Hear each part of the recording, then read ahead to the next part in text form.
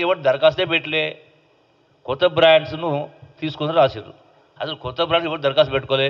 ఇరవై నాలుగు మంది కల్తీ మంది జైరీలా షరాబ్ తాగి చనిపోయిన తర్వాత ఈ సోమ్ డిస్టిలరీ అనే సంస్థను వాళ్ళ ట్యాంకులను అక్కడ మధ్యప్రదేశ్ ప్రభుత్వం సీజ్ చేయడం జరిగింది. అధికారులు సీజ్ చేయడం జరిగింది. అలాంటి అక్రమ మద్యం చేస్తున్న సంస్థను కాంగ్రెస్ ప్రభుత్వం కాంగ్రెస్ పార్టీ వాళ్ళకు విరాళాలు వస్తున్నాయి కాబట్టి కోటి ముప్పై ఐదు లక్షలు ఇరవై ఐదు లక్షల రూపాయలు పదే పదే ఎన్నికల కోసం వాళ్ళకు ఫండింగ్ వస్తున్నది కాబట్టి ఇవాళ కాంగ్రెస్ ప్రభుత్వం కాంగ్రెస్ మంత్రి అబద్ధాలు చెప్తూ ఇవాళ కొత్త బియర్ కంపెనీని ఇక్కడికి తీసుకొని వస్తున్నారు. ఎలాంటి బియర్ కంపెనీ మధ్యప్రదేశ్ రాష్ట్రం నుంచి మొదలై కాంగ్రెస్ ప్రభుత్వం నుంచి మొదలై అక్కడ కల్తీ మద్యం దేశీ దారు అని అంటారు. కంట్రీ లిక్కర్ ఎవ్వరు గూగుల్లో కొట్టినా సోమ్ డిస్టిలరీ కంట్రీ లిక్కర్ అని కొడితే మొత్తం మొత్తం కూడా డీటెయిల్స్ వస్తాయి.